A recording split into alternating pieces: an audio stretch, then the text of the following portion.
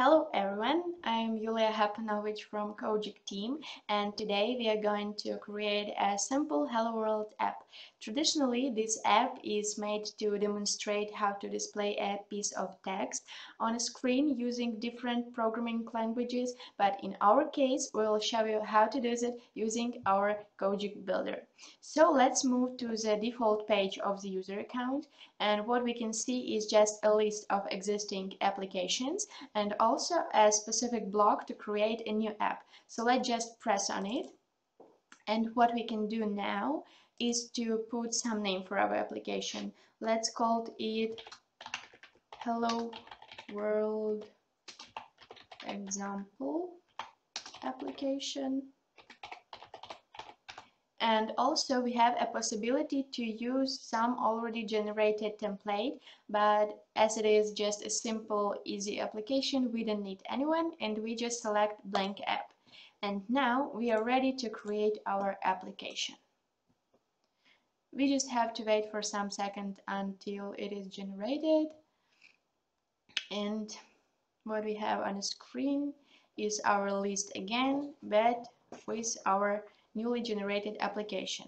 To edit it and develop it, we just press the develop button and it moves us to the our application editor. Here we can add a page for our application and let's call it a main page and create it. What we see now is a page editor. Here we can fill our page with different components and set some properties for them. To make a Hello World application, we need a text input, which we will call our message. And now, after it is on our page, it looks a bit too long, so we can split the column, and now it is looking much better and what we have now is a place for user to input a text. And in our application there are different ways to access the inputted text. And we can do this using the actions for our field. And what we need to use is on field change event as as soon our user has made an input and changed the text field we display it on our screen. So let's create a special event block and redirect to the code block editor. Here you can create different functions without using any complicated code.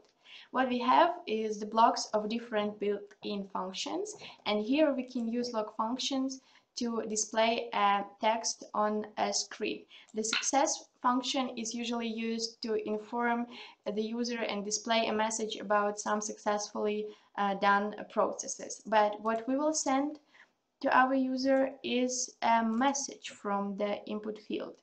So we get the value of the input and attach it to our success function and it will display it on the screen. So let's save it and now we are ready to publish our application. What does this publish function does is just creates